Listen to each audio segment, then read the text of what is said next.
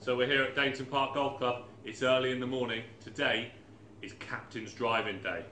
So our captain, Alan Montier, is going to be hitting his drive down the first hole. And our members are going to have to guess how far he is going to hit his tee shot. His yardage is from up to 50 yards to over 250 yards. What do you think he's going to get? Richard Read, the winner of the captain's drive-in, guessing 214 yards. Mr. Montier, a good drive. Thank you very much. And if you'd like to give Mr. Read his prize. Fantastic. Well done. Anything to say, Reedy? No, just chuck with this. I'm glad Monty is into the rough.